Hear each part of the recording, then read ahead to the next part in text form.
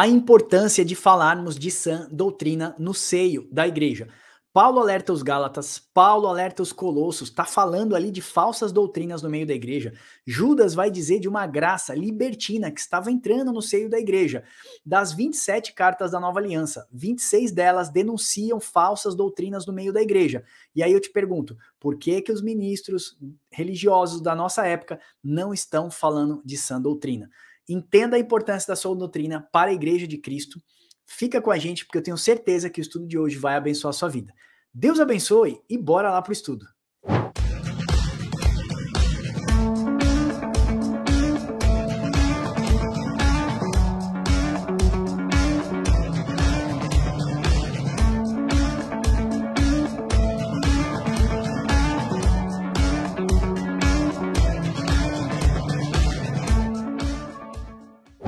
Hilber, seja muito bem-vindo. Vamos fazer esse estudo e mostrar a importância desse tema para a igreja de hoje. Seja bem-vindo.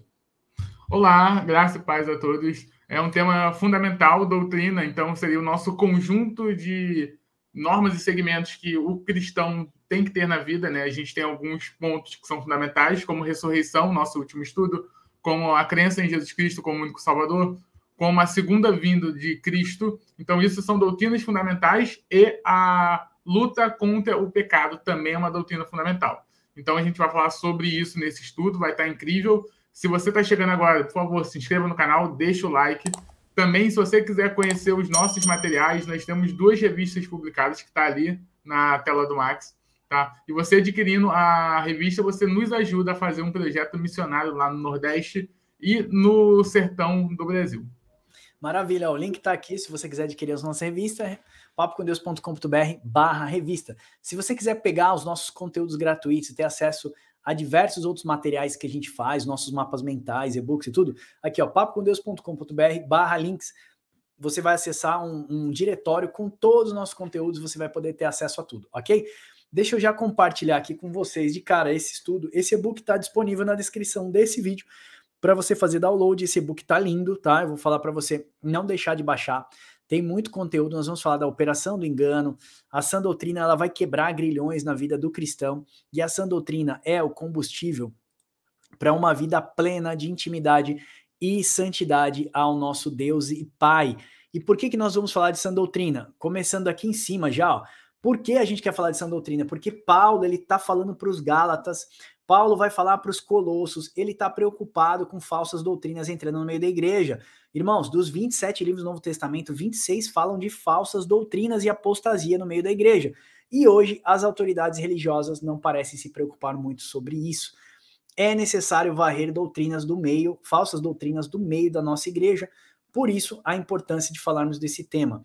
Olha só o que Paulo fala a Timóteo: Timóteo, tem cuidado de ti mesmo e do ensino persevera nesses deveres, porque agindo assim você tende a salvar a sua vida e também de todos aqueles que te ouvem. E Paulo, ainda nas suas cartas pastorais, que é reconhecido como cartas pastorais, ele fala o seguinte: ora, o Espírito afirma expressadamente que nos últimos dias algum, as, alguns apostatarão da fé, obedecendo a espíritos enganadores. Ou seja, seremos enganados, irmãos. Não é uma coisa simples tá bom?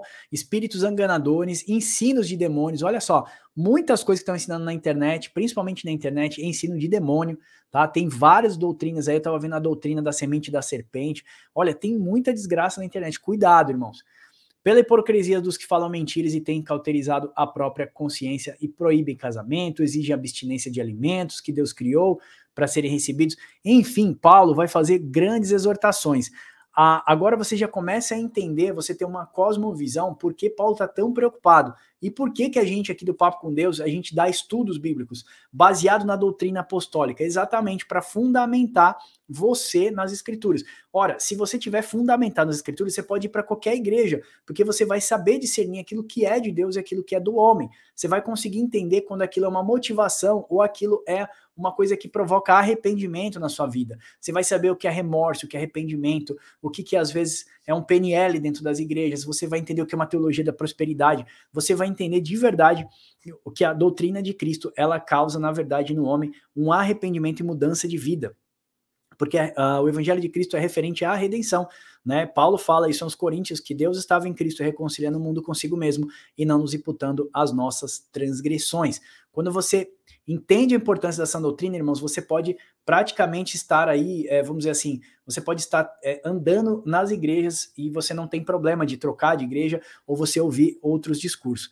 Hilber, é, você também acredita que essa doutrina é algo importante para a gente? Porque olha só, é, Paulo fala que o fim ele vai ser marcado pela vinda do Inico e da grande apostasia, tá lá em 2 Tessalonicenses, ó, não deixe ninguém enganar vocês, porque o fim virá antes que se, o fim não virá antes que se manifeste, o filho da iniquidade vem a grande apostasia, ou seja, o que marca o fim, né, da, de, de, do, dos dias é exatamente a chegada da grande apostasia, que é o divórcio da fé. As pessoas vão abandonar o evangelho de Cristo por ensinos de, de, de, de demônios. E parece também que você tem um verso aí, Uber, que mostra que Deus mesmo envia a operação do engano para aqueles que não se arrependem, é isso? Sim, exatamente. É esse mesmo contexto do verso que você estava tava lendo. 2 Tessalonicenses 2, que começa a partir do verso 9, esse contexto da operação do engano, né? Que vai falar assim Uh, ora, o aparecimento do iníquo é segundo a eficácia de Satanás, com todo poder, sinais e prodígios da mentira, e com todo engano de injustiça aos que perecem, porque não acolheram o amor da verdade para serem salvos. E por esse motivo, pois Deus lhe manda a operação do erro, para que deem crédito à mentira, a fim de serem julgados todos os quantos não deram crédito à verdade, antes, pelo contrário, deleitaram-se com a injustiça. Maravilha. Então você acredita a, a, que a grande apostasia é o que marca o final dos tempos, não é isso, Uber? Exato. Uma coisa que você falou que é fundamental é justamente a parte de quando você tiver em uma determinada denominação, você, com os seus pressupostos doutrinários, você entende o que está condizente com a palavra, o que não está condizente com a palavra. Você vê que a gente nunca fala para vocês é deixem de ir para a congregação, ou saiam do sistema religioso, ou deixem de estar com a convivência de, quem, de quem tem a mesma fé com, de vocês. Não é isso, a gente fala. Essa aqui é a doutrina que a gente acha, que a gente entende que é mais bíblica. Quando você for numa igreja, você use o que você aprende aqui como um parâmetro, como uma balança, mas não uma balança julgadora, mas uma balança para que o ensino que possa ser equivocado não te afete, não afete a sua vida espiritualmente. Mas a gente nunca vai falar, ó, deixe de ir para a igreja, fica na sua casa sozinho consumindo a gente no YouTube. Isso vai fazer mal para a sua tanto saúde espiritual como a sua saúde física e social, porque o ser humano ele é um ser sociável. Então, você está em sociedade com pessoas com a mesma fé vai te fazer bem, mesmo que pense diferente. É verdade. O Paulo mesmo fala: não deixei de congregar como é costume de alguns. Algumas pessoas, o Hilber pega aquele, aquele verso de Gálatas é, dos frutos do Espírito lá, ele pega a parte de Gálatas no fruto do Espírito e fala assim: ah, perseverança, domínio próprio, é, enfim, pega todos os, os gomos ali de Gálatas e ele acha que aquilo é para ele, aquilo é para a gente exercer no meio da comunidade. É, eu tenho que ter perseverança dos santos, é no meio dos santos, encorajando uns aos outros, intercessão, orando uns pelos outros, né? Domínio próprio. Então, autocontrole para quê? Para quando seu irmão errar com você. Eu ministrei na aula de casais lá na Way House Church, na nossa igreja, e aí eu estava falando sobre o perdão, e eu falei: a única coisa que eu posso garantir para vocês, eu garanto para vocês, é que eu vou errar com vocês. Eu garanto porque eu sou ser humano. Eu garanto que alguém dentro dessa igreja vai ofender vocês, vai magoar vocês, porque nós somos seres humanos. Agora, se eu não exercer os frutos do Espírito dentro da igreja, eu vou exercer onde? Dentro de casa, sozinho, com meu cachorro? Não é isso. Então, assim, quando Paulo fala ali das armas espirituais para lutarmos, com, com, lutarmos contra as obras do mal, né? Então, todas essas armas são usadas dentro da congregação, os frutos do Espírito são usados para dentro da congregação, para que a gente se alimente na congregação, para a gente tolere uns aos outros, ajude uns aos outros, que a gente tenha domínio próprio, autocontrole, tudo isso, a perseverança, tudo isso que vai mostrar ali é exatamente dentro de uma congregação. E é, o que o Uber falou é muito preciso. A gente vê na internet facções, né? Movimentos é, é, que seccionam o povo de Deus. Saia do meio é, é, da, da, da, dessa. Como é que você falou mesmo? Desse ambiente religioso, né, Uber? Sistema religioso.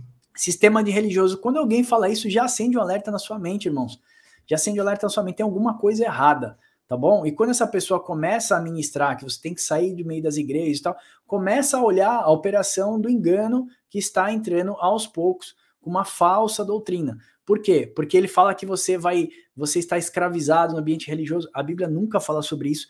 Paulo fala para você não deixar de congregar. Paulo vai é, falar bastante referente à vida de igreja. Olha a igreja de Coríntios, né?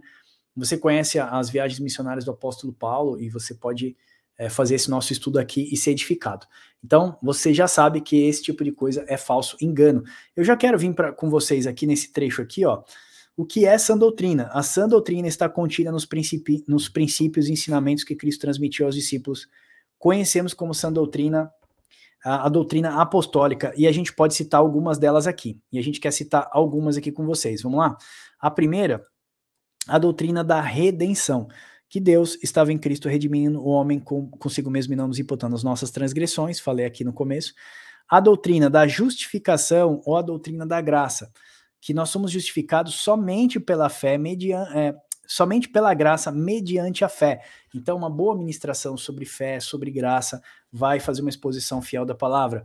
A doutrina da expiação, o sacrifício de Deus para pegar, pagar os preços do pecado a doutrina da glorificação, todo aquele que vencer comerá do maná escondido. A doutrina da glorificação é muito legal, porque Jesus vai falar no Apocalipse: aquele que vencer, dá-lhe-ei do maná escondido. Seus pais comeram maná do deserto e morreram, mas o maná que eu dou para vocês, vocês jamais morrerão. Muito legal, vai falar sobre corpos glorificados. A doutrina da perseverança dos santos, em Atos 14, 22, ó, porque importa, de muitas tribulações, nos importa entrar no reino dos céus. Então, muitas pessoas não pregam sobre tribulação, é, sobre dor e sofrimento aqui. Você já ouviu sobre dor e sofrimento, Papo com Deus prega isso aqui, ok? Dor e sofrimento são normativas de todo crente, sempre foram uma normativa da igreja. Deus tem as suas formas de aperfeiçoar o seu caráter para a eternidade, e dor e sofrimento são as coisas que mais lapidam o cristão. A doutrina do arrependimento ensinar que arrependimento não é remorso, é uma conversão, é uma mudança de atitude, é uma nova criatura. Doutrina da crucificação é o ato de morrer para mim e viver para Cristo, aprender o que é viver a vida do Filho de Deus. Gálatas, se eu não me engano, é 5,19 ou é 3,19 agora que fala, ele fala assim, que não vivo mais eu, mas Cristo vive em mim, e a vida que agora eu vivo, vivo no, no Filho de Deus. O que, que Paulo está falando? Que ele não vive mais para os seus desejos. Uma vez que a gente vive para os nossos desejos, então nós não vivemos para Cristo, somos escravos dos nossos próprios desejos. Na verdade, teve um, um matemático e filósofo que disse, acho que Kant, né, Hilber, que ele disse o seguinte: é, liberdade é fazer aquilo que não se quer. O que, que ele está querendo dizer ali? Quando eu faço aquilo que eu quero, eu sou escravo dos meus próprios desejos. Por isso que a vontade de Deus é boa, perfeita e agradável. Quando nós fazemos a vontade de Deus, fazemos aquilo que é melhor para a gente, ok? a doutrina da propiciação. Cristo é o nosso propiciatório, ele que é a tampa da arca. Propiciatório era a tampa da arca, tá, irmãos? Onde o sacerdote entrava lá e aspergia sete vezes o sangue do animal morto, uma vez por ano para perdão dos pecados. E Cristo, na verdade, teve seu sangue derramado para satisfazer a, a justiça de Deus. Então, nós podemos citar diversas dessas doutrinas bíblicas através de estudos, como nós temos feito estudo da mulher do fluxo de sangue, que vai falar a doutrina da santificação, né? Nem coloquei aqui a doutrina da santificação. Santificados, né? Sede santos, porque o vosso Pai também é santo. Santificação não é um pedido, ele é uma ordenança. É uma condição, até diria, porque sem a qual ninguém verá Deus. Então nós temos diversas doutrinas, Wilber, que na verdade vai formando os fundamentos da igreja cristã. Tira-se os fundamentos, esse prédio não tem uma sustentação, é um prédio que desaba. Se nós estamos sendo construídos sobre um edifício firme, fiel, né, que tem uma estrutura boa, nós não vamos desabar, porque nós temos a, a, a fundação. Mas a gente acredita que as igrejas modernas, por, por, essa multiplicação rápida de seguidores, às vezes elas, elas pulam esse, esse fato, né, e acabam não tendo uma base né, doutrinária sólida. E por conta disso, essas pessoas vêm para a igreja, mas acabam indo embora muito rápido. Né? Da mesma forma que elas vêm rápido, elas vão embora rápidas. É, eu vi o Hernandes Dias Lopes falando que as igrejas hoje no Brasil estão cheias de, de, de pessoas vazias, né? Isso me faz, é, me, me, acende um alerta. Lá na nossa igreja a gente tem cursos de discipulado, eu acho isso muito legal, e a gente também tem a oportunidade de, de ministrar para casais. A gente fez a formatura agora de, de 22 pessoas ali, casais que se formaram com a gente, foi fantástico, né? E eu acho isso de extrema importância. Você também acha, Hilber, que é, a gente precisa ter uma estrutura bem mais sólida, cara? Sim, é o fundamento, né? Quando nós fomos lá para o texto de Apocalipse, a Nova Jerusalém ela é fundamentada nos profetas, ou seja, é, fazendo referência, menção ao Antigo Testamento, e aos apóstolos, fazendo menção ao Novo Testamento. Ou seja, a fundamentação bíblica ela tem ali pressupostos do Antigo e do Novo Testamento unidos, não em, contradi não em contradizente, não em contradição. Como, por exemplo, a gente vê sacrifício de animais, isso foi abolido. A gente vê a guardar festas literais, isso foi abolido. Mas a gente consegue perceber que o, a essência das festas, a essência do sacrifício que aponta para o Messias no Novo Testamento é fundamental. Então, quando o Apocalipse fala dessa base, é justamente a associação do Antigo com o Novo Testamento em forma plena e harmoniosa. Maravilha. Deixa eu voltar para cá para a gente correr com isso tudo que eu não quero fazer ele tão longo. Vamos lá. Afinal, então, que os homens estão buscando? Os homens dizem que Deus está onde ele não entra mais. As pessoas agora têm feito templos, tem o Templo de Salomão em São Paulo, altares, igrejas, arcas, símbolos, chofar para tudo quanto é lado. Estão voltando às velhas práticas ritualistas que já foi abolida na nova aliança, a gente vai falar um pouquinho sobre isso. Dizem que Deus vai fazer o que Deus nunca disse que faria, então eles falam de Deus hoje como garçom para as igrejas. Olha o que Spurgeon diz, Charles Radolph Spurgeon: seus corações são eterna fábrica de ídolos. Então a gente tem que tomar cuidado de dizer que Deus vai fazer aquilo que Deus nunca disse que vai fazer. E aí muitas pessoas pegam uma passagem da Bíblia para mostrar o exemplo de que Deus fez com uh, por exemplo, com Josué diz que vai ser feito na sua casa. Irmãos, experiência não é doutrina. O que Deus fez para Josué não quer dizer que Deus vai fazer na sua vida, ok? Doutrina é aquilo que foi fundamentado pelos ensinamentos de Cristo e dos apóstolos, simples assim, ok? Qualquer coisa que você vê, sete voltas da campanha tal, sete dias, não sei o que, isso não faz menor sentido para nós cristãos, porque experiência não é doutrina fazem o nome de Deus um palco de stand-up, usurpam a glória de Deus, se sentem deuses nesses palcos. Uh, muitos homens estão atrás de riqueza, sendo que Jesus deixou tudo, na verdade, ele se fez humano e se fez humilde e, na verdade, se humilhou, lavando os pés dos discípulos até e se humilhou também numa morte, até uma morte de cruz. Enquanto os homens eh, se dizem reis, Jesus mesmo sendo rei, rei, ele se fez plebeu. Então, os homens querem glórias, status, reconhecimento, poder. Filipenses 2,7 vai falar que Cristo mesmo não usurpou a glória de Deus, antes ele se despez, se, se des, despiu de tudo isso. Os homens correm em busca de construções carnais, grandes templos, lugares caros. Aqui a gente está fazendo uma denúncia, tá, irmãos? Então a gente falou de Sã Doutrina, de fazer a denúncia, vamos, vamos ter, terminar essa fundamentação aqui, ok? A graça de Deus já não satisfaz, você vai ver isso que em muitos lugares eles procuram pregadores com eloquências, é, é, é, sinais e maravilhas assim extraordinárias, é, rodopios, danças, bom, enfim, louvores, cada lugar tem uma coisa mais exacerbada. E Deus vai advertir através do apóstolo Paulo, né? Porque Paulo vai falar a Tito exatamente isso, Tito 2:1. Tu, porém, fala o que convém, Tito, fala a sã doutrina. Então, ao dar essa ordem, Paulo nos ensina sobre que a igreja deve falar a sã doutrina, que é a responsabilidade da igreja. Ela deve, ter, deve ser reconhecida exatamente por isso. A sã doutrina nos chama ao arrependimento todos os dias. A sã doutrina está condicionada a mudar o pensamento, mudar o posicionamento. Isso é metanoia, isso é arrependimento. A igreja tem a responsabilidade de tornar o caráter de Deus conhecido. E falar dessa doutrina é responsabilidade da igreja. Estamos sendo transformados à imagem do Filho unigênito, está lá em Romanos 8, 29. Diz Apocalipse, o chamado da Bíblia é um só, arrependimento. E o que é a sã doutrina? Sã doutrina nos leva a uma transformação de vida. Essa é uma transformação que está na mudança da forma de pensar. O apóstolo Paulo nos escreveu: Não se amoldem ao padrão desse mundo, mas transforme-se pela revelação do vosso entendimento. Então, quem tira as impurezas da nossa vida é a palavra de Deus, através de uma exposição fiel, histórica e expositiva. A, a exposição da palavra de Deus tem que ser expositiva, irmãos. O que é isso? Ela não deve ser uma forma representativa. Então, muitas pessoas pegam um verso bíblico isolado, né? Então, ele pega ali uma passagem, por exemplo, sobre a passagem da lei da semeadura, e aí traz isso para dentro do dinheiro, e vai falar que isso é dinheiro. A gente não gosta desse tipo de exposição, porque ela não fala o que o texto diz dentro do contexto. Ele isola, depois vai dizer que você é mais que vencedor. Paulo está falando das dificuldades, das diversidades, etc. E Paulo está falando ali sobre um corpo de glorificação. Aí Deus está falando da ressurreição dos mortos. Aí o cara pega aquele de ressurreição dos mortos e pronto, fala que você vai ser mais que vencedor. Mas está falando de ressurrei ressurreição. Fizemos um estudo aqui sobre ressurreição. Então a gente tem que se atentar para isso, sabe? É, eu, eu, não gosto de, de versos bíblicos isolados, é chamado de pregações temáticas ou representativas. Ele pega um tema só e representa, transfigura para o tempo de hoje, mas não fala texto de contexto. Por que, que Jesus se referiu àquela fala? Foi dentro de um contexto para aquela época, ok? Je Jesus vai dizer isso lá em 1 João 15, 3. Vós já estáis limpos pela palavra que eu vos tenho dito. Então, o que limpa o homem, portanto, nos santifica, é a exposição fiel da palavra de Deus. Então, ei ministro, assim como eu e o Uber fazemos aqui no canal, faça aí também exposição fiel da palavra de Deus. Mostra o contexto histórico, mostra o contexto. A, a boa exegese é feito isso, a interpretação do verso, interpretação do capítulo, interpretação daquela passagem, daquele dia inteiro. Teve uma, uma parte que eu vi um cara pregando uma vez, não tinha nada a ver texto de contexto. Jesus estava passando a tarde ele falando sobre parábolas, e o cara pegou e falou que aquilo ali não era uma parábola, que aquilo era não sei o que e tal e ele torceu totalmente o texto do contexto. Então fica uma pregação temática. E aí é uma exegese que a gente fala, exegese, eusegese, né?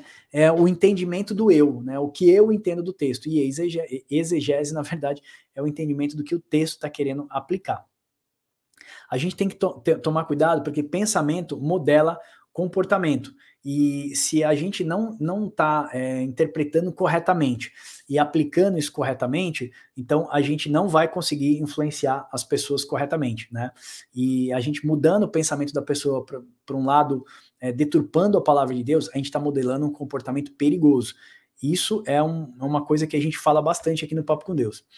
É, o que eu acredito também, irmãos, é que hoje as pessoas estão sendo anestesiadas ao inferno é, nós sabemos que naquele dia o Senhor vai dizer assim: apartai-vos de mim, porque eu não vos conheço. Começa lá em Salmos, na antiga aliança, essa fala está em Salmos 119, 115, que Deus vai falar assim: apartai-vos de mim, vocês que praticam o mal. Eu quero guardar os mandamentos do meu Deus. Ali já está falando, o salmista já está dizendo isso: eu quero guardar os mandamentos do meu Deus. Aí, essa frase também é citada por Jesus na Nova Aliança, em Mateus 7, 23. Então lhes direi explicitamente: nunca vos conheci, apartai-vos de mim, quem pratica iniquidade. Iniquidade, iníquo, significa transgressor da lei. Para muitas pessoas falam que a lei não existe na nova aliança, a lei existe. Ela foi escrita na nossa mente e no coração. Está em Jeremias 31, 33. Eu acho que a gente vai falar no próximo slide. Então, fala assim: Eis que vem novos dias que eu firmarei uma nova aliança com a casa de Judá, com a casa de Israel, e eu vou escrever as suas, as suas minhas leis morais na sua mente, no seu, no seu, no, no seu coração.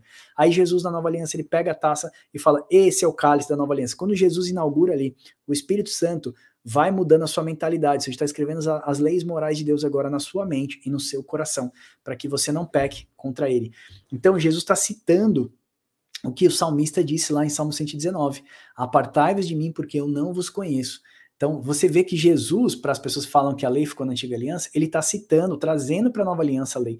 Veja, eu não estou dizendo para você guardar o sábado, não estou dizendo para você é, é, sacrificar animais, não é isso. Nós não estamos falando na guarda da lei na forma cerimonial, mas na guarda da lei da forma do amor, dentro do ambiente da graça, ok? Então, se eu amo a Deus sobre todas as coisas, eu não vou pecar. Se eu amo meu próximo como a ti mesmo, eu não vou adulterar, eu não vou roubar, eu não vou matar, eu não vou tudo aquilo que está na antiga aliança agora foi praticamente resumido nesses dois versos. Você concorda com isso também, o, o?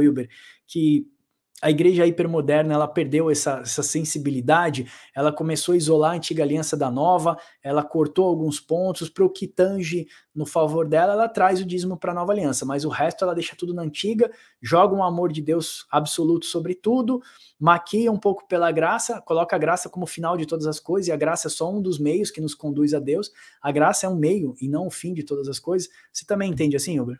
É, então, eu acho que a pessoa que tenta colocar a antiga aliança somente como ordens de ordenança, porque não fez uma leitura atenta e não entendeu muito bem ah, o conceito da antiga aliança. Porque aquela ordenação, ou aqueles conjuntos ali de ordens, tá? Obviamente é uma sombra que aponta para Cristo, mas também tem o objetivo de expressar o amor aos mais vulneráveis. Então, quando você vê, por exemplo, ah, na antiga aliança que o Levítico, o, a tribo de Levi não recebia terra. Então, o que, que acontecia? As outras tribos tinham que manter a tribo de Levi. Aí você já mostra o quê? Um amor comunitário. Você vê que o povo da antiga aliança, os mais necessitados, tipo os órfãos, as viúvas, é, eles tinham que receber o apoio da comunidade. Então, você consegue ver aí aspectos de que Jesus fala do amor a Deus e amor ao próximo, sendo ali o que permeia essas outras leis. Então, eu acho que é, resumir a antiga aliança somente como um conjunto de leis é não fazer uma leitura atenta do texto, porque tem diversas é, expressões ali de, de amor, tanto de Deus com o povo, quanto do povo com o, os membros da comunidade, né, entre, entre si. Então, resumir a antiga aliança só como conjunto de leis é um erro exegético e um erro doutrinário. Eu também acho.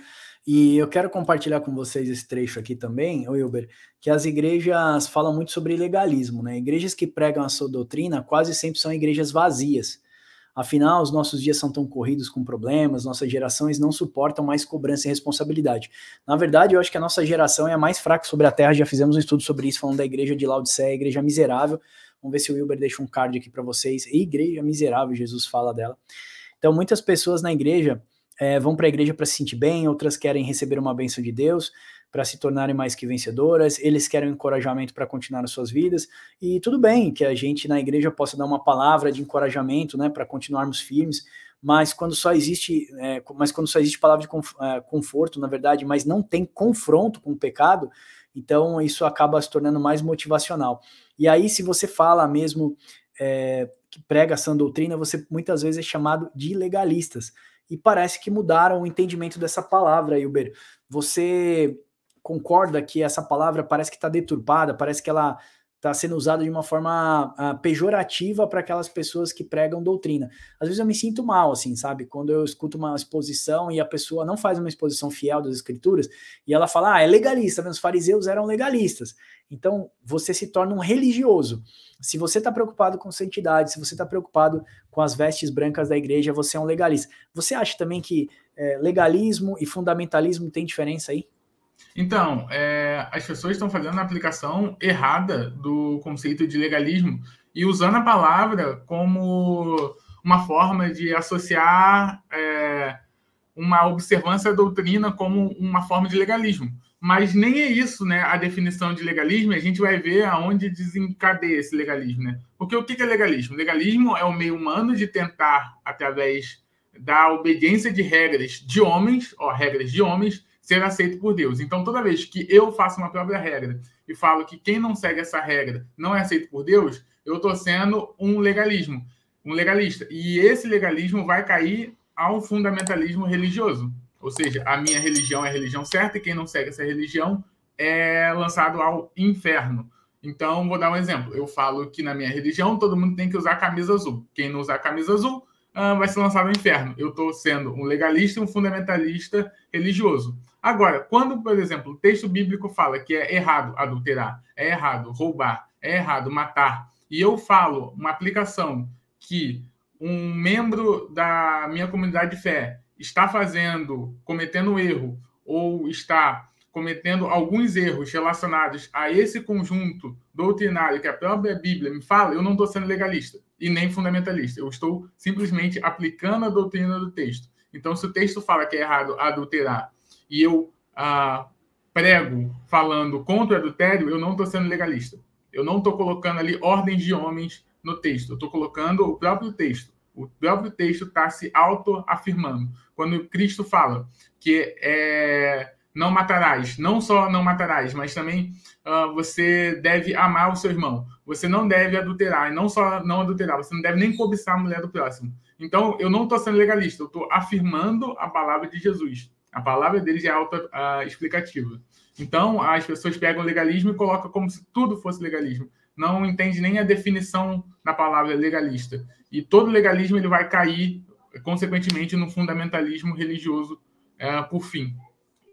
É, eu acho isso mesmo que o Uber falou, tá? E fundamentalismo tem diferença de legalismo e estão usando de uma forma pejorativa. Estão, na verdade, é, deturpando essa palavra e está ficando muito chato para os nossos dias hoje. Se você falar de doutrina, se você falar de santificação, se você bater numa tecla dessa com seus, é, as pessoas que você discipula, pronto. É, eu acho que não é assim. Tem algumas pessoas que acham que é, quem, isso é obra do Espírito Santo, então eu não vou fazer isso, e eu vou mostrar para você já já, porque isso é um erro, tá? Mas de claro, assim, como que eles vão se arrepender se não há quem fale? Como eles entenderão se não há quem explique? Então nós precisamos ministrar sobre isso diariamente nas, uh, nas nossas uh, nossos ajuntamentos, tá? Deixa eu puxar para cá. A gente já está caminhando para o fim. E eu quero falar com vocês, uma vez salvo, salvo para sempre. Eu vou entrar num tema polêmico, porque eu vou pegar, por exemplo, como Herdanes Dias Lopes, é um cara que acredita que uma vez salvo, salvo para sempre. do, do, o pastor Luciano Subirá, por exemplo, ele acredita que a salvação se perde. Eu vou falar nosso ponto de visão, não é unânime dentro do Papo com Deus, nós também temos algumas divergências, ok? Nesse sentido, mas eu queria colocar aqui para vocês.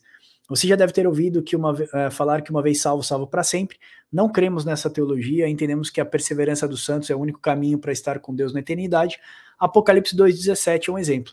Aquele que tem ouvidos, ouça o que o Espírito diz às igrejas, ao que vencer darei do maná escondido. Também lhe darei uma pedra branca. Ó, ao que vencer lhe darei do maná escondido, corpos glorificado, certo? Vencer o quê? A luta contra o pecado. Devemos lutar contra os nossos maiores gigantes, que são os nossos próprios desejos. Desde o Gênesis, Deus está ensinando isso, ah, que as nossas vontades estão militando contra a gente mesmo, tá? Se bem fizeres, não é que serás aceito, e se não fizeres bem, o pecado já a porta. Seu desejo será contra ti, mas a ti cabe dominá-lo. Gênesis 4:7, Deus está falando assim: olha só, o seu desejo será contra ti, mas a ti cabe dominá-lo. Ou seja, os nossos desejos militam contra nós. Vamos também, é, você também vai poder ver na palavra do, parábola do semeador, em Mateus 13, onde Jesus diz que as sementes caíram na terra. Uh, você vai ver que uma semente frutificou, a outra foi secou. A Bíblia vai falar que o Satanás roubou do coração da outra pessoa, a outra não tinha uma terra mais profunda, mas aquela que frutificou cresceu a 30, 60 e a 100. Paulo também vai falar isso, vai falar assim: olha, é, Demas me deixou amando o presente século. Então, Demas foi discipulado pelo apóstolo Paulo, deve ter sido batizado exatamente por ele, mas no meio do caminho deixou a sua jornada para trás. É claro que os teólogos aplicam aquele texto que diz assim: Uh, os que saíram de nós nunca foram nossos, na verdade.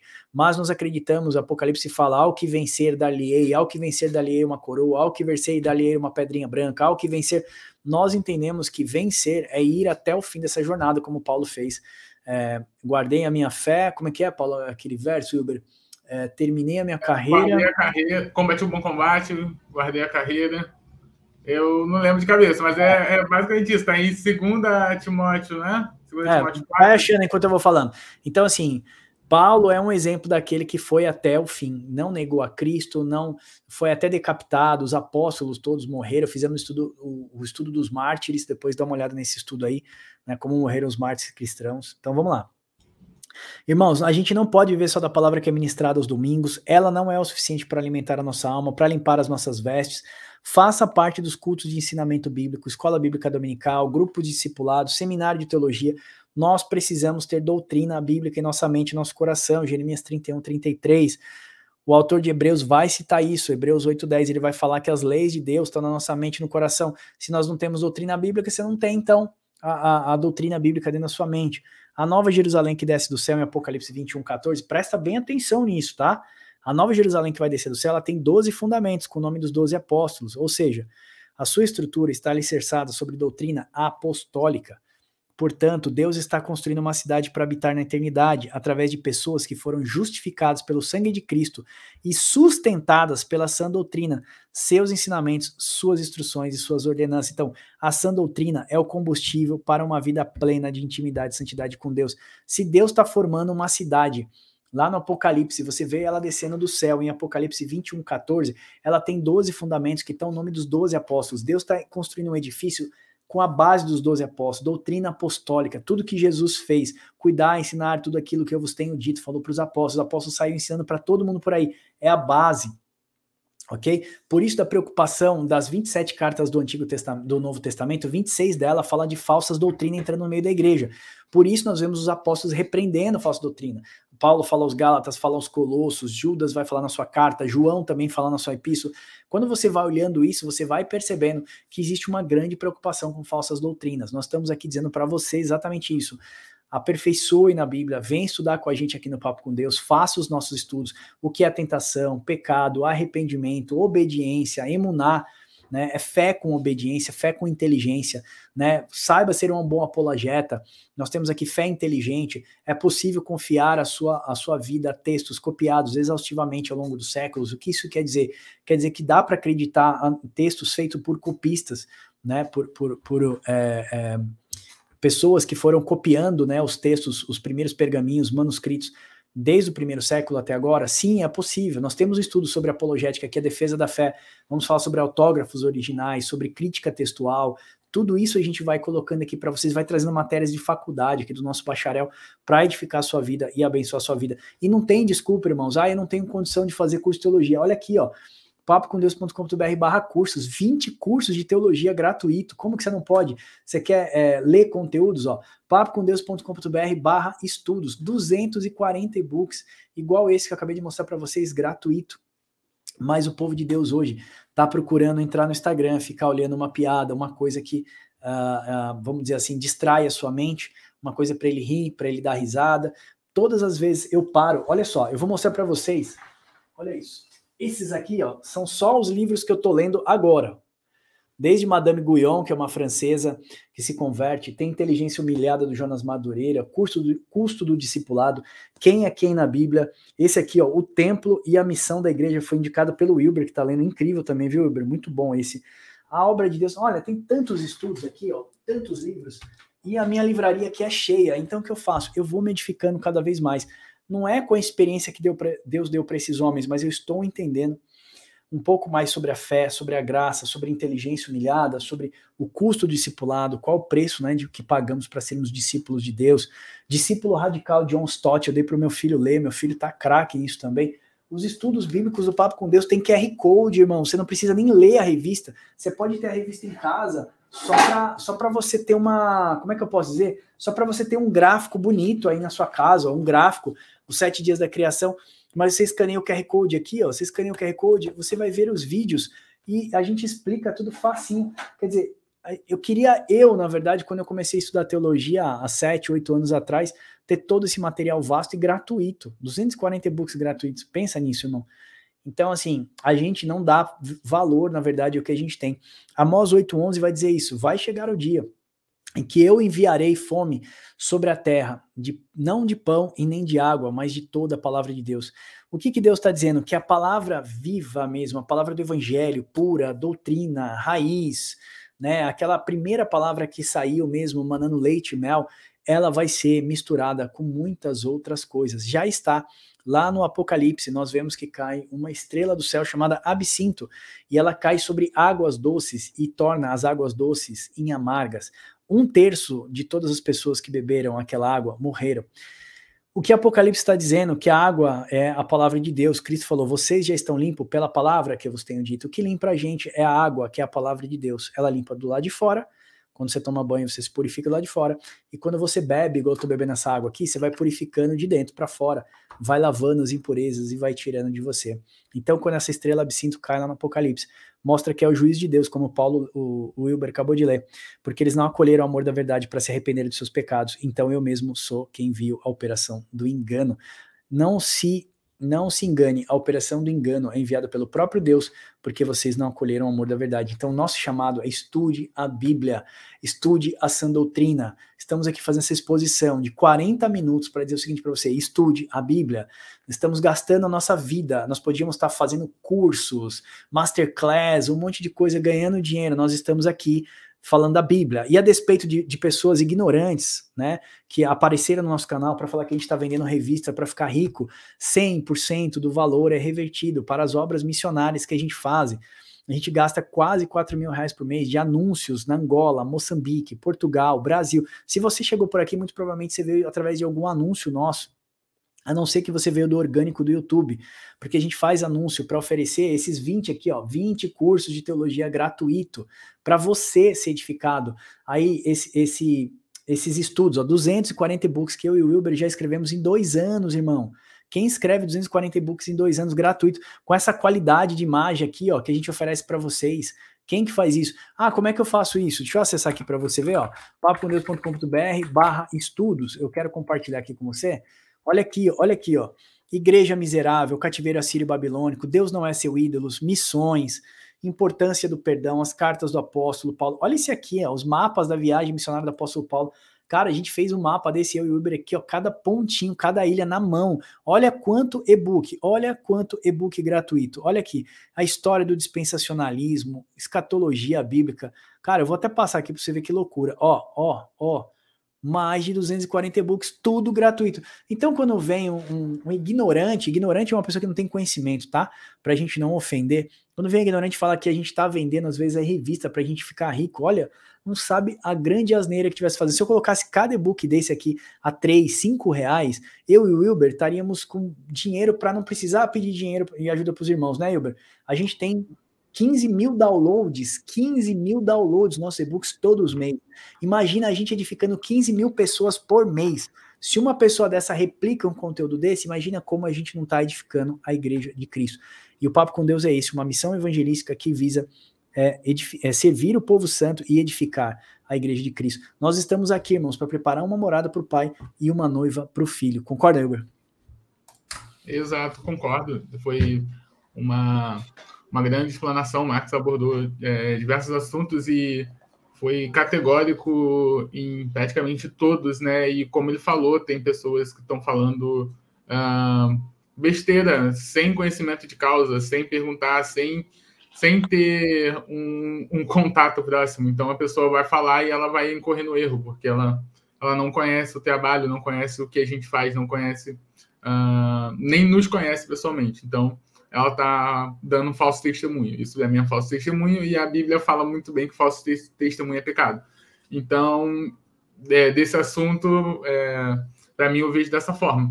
E como ele falou, como o Max estava abordando, a sã doutrina é fundamental. É fundamental para a vida de uma igreja, é fundamental para a vida dos, dos membros e para a vida do pastor, tanto espiritualmente quanto socialmente, tá? Então, estudar a sã doutrina, ter núcleos de de estudos, ter uh, formação de estudo dentro da igreja, como a do Max tem, é, discipulado, casais, você levar a doutrina bíblica para toda a esfera social, levar a doutrina bíblica, por exemplo, para o trabalho, não é PNL, tá? É levar a doutrina bíblica para o trabalho. Como assim? Ah, no meu ambiente de trabalho é um ambiente ali que é secularizado, as pessoas falam sobre é, diversos assuntos esse assunto, e assuntos não são bíblicos, como que eu devo me, por, é, me portar? Sã doutrina, ser, ser prudente, não se levar por má, é, má conversação.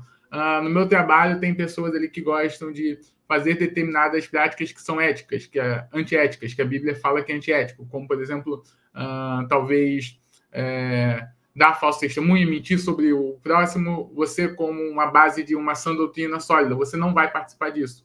Então, a sã doutrina não é só para dentro da igreja, mas é para toda a sua vida. Sua vida no trabalho, sua vida na academia, sua vida na escola, sua vida ah, em casa, sua vida ah, com seus pais, com a sua na, namorada, ou esposa, ou esposo. Então, a sã doutrina ela vai englobar todo o aspecto do crente, toda a vida do crente, não somente a parte litúrgica, mas o ser humano como um todo. Maravilha. Irmãos, a gente está aqui gastando a nossa vida em prol de edificar o corpo de Cristo. Gaste o seu tempo também com isso, por favor. Não vá se alimentar somente daquela palavra que você ouve aos domingos, porque senão você não vai ter como é, discernir se aquela palavra é uma palavra correta ou não. E eu não estou falando aqui contra as palavras ministradas de domingo, estou dizendo que aquilo não é o suficiente para alimentar a sua alma, porque depois você pode ser varrido aí por qualquer vento de doutrina, levado né, por qualquer vento de doutrina. Nossa missão é varrer mesmo falsas doutrinas do seio da igreja. Nós estamos aqui gastando a nossa saúde com isso nós estamos aqui gastando nosso tempo, porque nós acreditamos que o que a gente está fazendo realmente está glorificando a Deus, e a gente sabe que o nosso galardão não é aqui. Eu acabei de falar, se a gente quisesse ficar rico, a gente vendia cada e-book por 3 reais. A gente estava rico, irmãos, com 15 mil downloads por mês, faz as contas. A gente não precisaria ficar pedindo ajuda para vocês nos apoiarem, se tornar um, um um patrocinador dessa obra. E se você gostou e por talvez esse, esse estudo possa ter uh, movido o seu coração em respeito disso, Ó, como que eu posso me tornar um apoiador do Papo com Deus? papocomdeus.com.br barra links, tá? Lá tem é, é, WhatsApp para você entrar no WhatsApp, pegar curso gratuito, e-book, comprar revista. E também tem lá, eu quero ser um gerente do Papo com Deus, quero apoiar essa obra a partir de R$ reais por mês. Você também pode se tornar um gerente aqui, amém? Eu tenho certeza que esse estudo edificou a sua vida. Eu não li aqui, ó, duas lâminas desse estudo de propósito para você ler em casa. Então eu quero que você complemente esse estudo é, baixando esse e-book e lendo na sua casa também, amém? Eu espero que esse vídeo tenha te abençoado e eu aguardo você no próximo. Deus abençoe você e até o próximo Papo com Deus.